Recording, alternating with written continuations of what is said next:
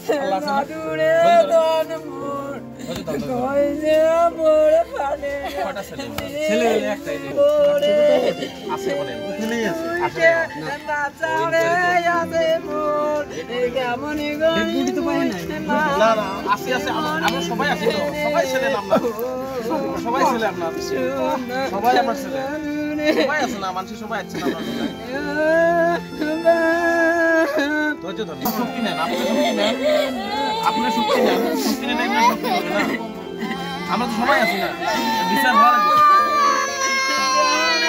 চাওক, এটা মৰ্মান্তিক ঘটনা, আজি পেটৰ তাৰণাত।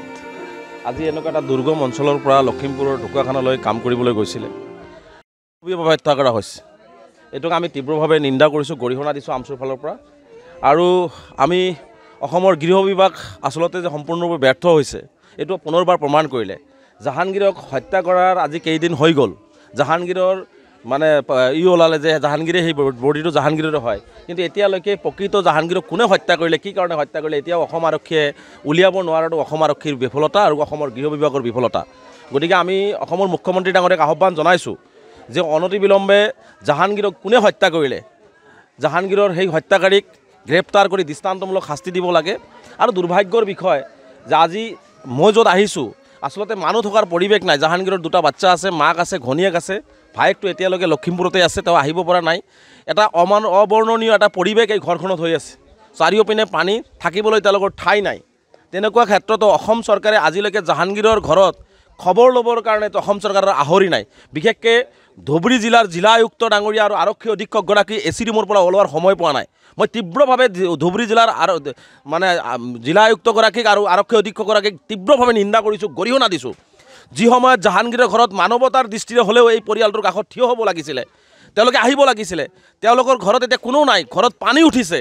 ঘৰত থাকিবলৈ ঠাই নাই বাচ্চা দুটালৈ মাক আৰু ঘনীয়েকজনী কেনেকৈ আছে এই খবৰটো লোৱাৰ আহৰি নোপোৱাটো দুৰ্ভাগ্যজনক। এটা জিলা আয়ুক্ত আৰু আৰক্ষী অধীক্ষকৰ পৰা কেতিয়াও সাধাৰণ জনতাই এইটো আশা নকৰে।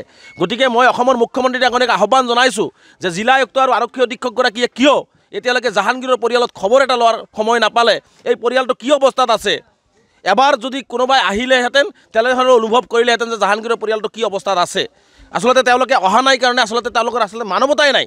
গতিকে অসমৰ মুখ্যমন্ত্ৰী ডাঙৰীয়াক আহ্বান জনাইছোঁ যে অনতিবিলম্বে অসম চৰকাৰৰ ফালৰ পৰা জাহাংগীৰৰ ঘৰত আহি জাহাংগীৰৰ ঘৰৰ পৰিয়ালৰ পৰিৱেশটো চাব লাগে আৰু তেওঁলোকৰ পৰিয়ালক উপযুক্ত যিহেতু তেওঁৱে একমাত্ৰ ইনকাম চ'ৰ্চ আছিলে এই পৰিয়ালটোৰ গতিকে উপযুক্ত ক্ষতিপূৰণৰ ব্যৱস্থা গ্ৰহণ কৰিব লাগে আৰু মুখ্যমন্ত্ৰী ডাঙৰীয়া প্ৰত্যক্ষভাৱে হস্তক্ষেপ কৰি জাহাংগীৰৰ দোষীক কৰায়ত্ব কৰি দৃষ্টান্তমূলক শাস্তিৰ ব্যৱস্থা কৰিব লাগে আৰু জাহাংগীৰৰ পৰিয়ালক উচিত ক্ষতিপূৰণ দিব লাগে। আজি আমি অসমৰ মুখ্যমন্ত্ৰীক জাহাংগীৰৰ পৰিয়ালৰ কাৰণে জাহাংগীৰৰ হত্যাকাৰীক গ্ৰেপ্তাৰ কৰাৰ কাৰণে আমি ইতিমধ্যে সিদ্ধান্ত গ্ৰহণ কৰিছোঁ। মেমৰ নাম আজি মুখ্যমন্ত্ৰী ডাঙৰীয়াক সন্ধিয়া আমি মেইল যোগে পঠাম আৰু আমি আশা কৰিম যে অসমৰ মুখ্যমন্ত্ৰী ডাঙৰীয়াই জাহাংগীৰৰ পৰিয়ালটোক ন্যায় দিব আৰু উপযুক্ত ক্ষতিপূৰণ দি দোষীক গৰায়ত্ব কৰিব। লগতে ধুবুৰী জিলাৰ আয়ুক্ত আৰু আৰক্ষী অধীক্ষকগৰাকীক মই আহ্বান জনাইছোঁ যদি আপোনালোকৰ তিল মানুহ মানৱতা আছে তেনেহ'লে আপোনালোকে এ চি ৰুমত বহি নাথাকি জাহাংগীৰৰ পৰিয়ালত আহি জাহাংগীৰৰ পৰিয়ালৰ এই দুখত সমভাগী হ'বৰ কাৰণে আহ্বান জনাইছোঁ। অন্যথাই জিলা আয়ুক্তগৰাকী আৰু আৰক্ষী অধীক্ষকগৰাকী সাজু থাকক ছয়ত্ৰিছ ঘণ্টাৰ ভিতৰত যদি এই পৰিয়ালটোক তেওঁলোকে কোনো ব্যৱস্থা গ্ৰহণ নকৰে তেনেহ'লে ধুবুৰী জিলাৰ প্ৰতিটো দল সংগঠন নাগৰিক সমাজক লগত লৈ আমচুৱে ব্যাপক আন্দোলনৰ কাৰ্যসূচী গ্ৰহণ কৰিব। দাদা প্ৰথমত আপোনাৰ যেতিয়া বডিটো ওলালে তেতিয়া নবীন গগৈৰ বডিক সুনীল গগৈৰ বডি। ই কৰা হৈছে। এতিয়া গম পালে এইটো আমাৰ বডিটো ইয়াৰ হয়। তো ধৰ্মৰ ক্ষেত্ৰত আপুনি কি ক'ব? এই না চাওক আমি সেইকাৰণে কৈছোঁ জাহাংগীৰৰ ডেড বডিটো যিহেতু জাহাংগীৰৰ যিখিনি মৰাদেহ আছে এতিয়া যিখিনি যি আছে তেওঁলোকে পলি- পুলিচৰ হাতত নিশ্চিতভাৱে সংগ্ৰহ কৰিছে।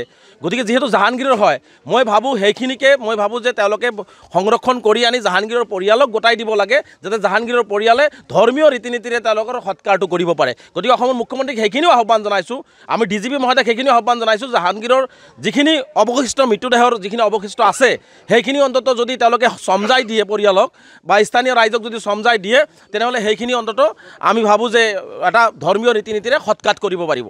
আৰু সুনীল গগৈৰ নামটো চৰ্চা হৈ আছে কিন্তু আৰক্ষীয়ে এই মুহূৰ্তলৈকে সুনীল গগৈ দিয়াই আছে নে এ, ক'ৰবাত লুকাই আছে উলিয়াব পৰা নাই কেইবাদিনো পাৰ হৈ গ'ল? চাওক মই কৈছোঁ যে অসম আৰক্ষীৰ আৰু গৃহ বিভাগৰ ইতিমধ্যে তদন্ত আৰম্ভ কৰিছে। কিন্তু তদন্ত আৰম্ভ কৰি জাহাংগীৰৰ ডেড বডি হয় বুলি ইতিমধ্যে তেওঁলোকে ক'লেই। কিন্তু গৃহ বিভাগৰ যিটো ধৰণৰ তৎপৰতা বা যি ধৰণে আগ মানে কামখিনি আগবাঢ়িব লাগিছিল সেইখিনি আগবাঢ়ি থকা নাই। যাৰ কাৰণে আজি এটা মাৰ্ডাৰ হৈ যোৱাৰ পিছত মানুহ এটা জীৱনতে জ্বলাই দিয়াৰ পিছত মুণ্ড ছেদ হৈ যোৱাৰ পিছত ইমান ডিজিটেল ডিজিটেল ডিজিটেলাইজ হৈছে পৃথিৱীখন। তাৰপিছতো এতিয়ালৈকে জাহাংগীৰৰ হত্যাকাৰী বা সুনীল বৰা ক'ত আছে? এই কথাটো গৃহ বিভাগে উলিয়াব নোৱাৰাটো অতিকে দুৰ্ভাগ্যজনক আৰু গৃহ বিভাগৰ বিফলতা। গতিকে মই অসমৰ মুখ্যমন্ত্ৰী ডাঙৰে আহ্বান জনাইছোঁ যে সুনীল বৰা ক'ত আছে সেইটোও উলিয়াব লাগে। জাহাংগীৰক কোনে হত্যা কৰিলে তাকো তাকো গ্ৰেপ্তাৰ কৰিবৰ কাৰণে ব্যৱস্থা গ্ৰহণ কৰিব লাগে আৰু জাহাংগীৰৰ যিখিনি অৱশিষ্ট আছে সেই পৰিয়ালৰ হাতত গতাই দিব লাগে যাতে ধৰ্মীয় ৰীতি নীতিমতে সৎকাৰ কৰিব পাৰে। যিকোনো খবৰৰ বাবে যোগাযোগ কৰক আমাৰ এই নম্বৰত। Seven zero' double nine zero' one seven double three zero' আৰু seven zero' double nine zero' one seven double one zero'